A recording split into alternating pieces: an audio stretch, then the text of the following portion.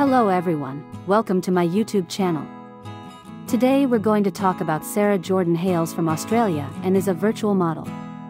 Her Twitter profile clearly states that she is a virtual model created in Australia. In today's world, the concept of virtual models has become an interesting intersection of technology, creativity, and the fashion industry. Virtual models are computer-generated characters that exist solely in digital form, but look and behave like real people. Such virtual models, like the fictional Sarah Jordan discussed above, have made a significant splash in various industries, particularly in the fashion and advertising industries.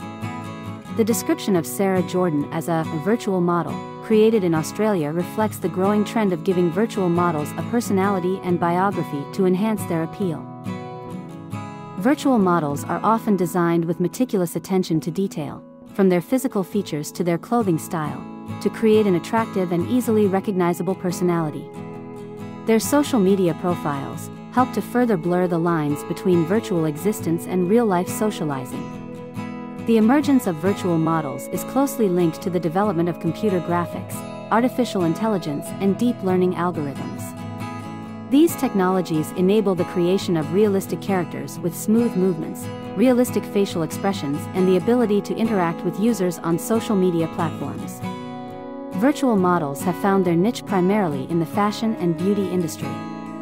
They serve as a canvas for designers, showcasing clothing and accessories in virtual photo shoots and runway shows.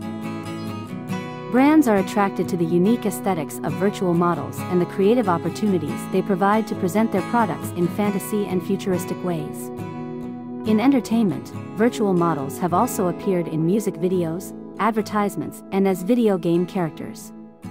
The ability of virtual models to fit seamlessly into various forms of media emphasizes their versatility and adaptability in a rapidly changing digital landscape.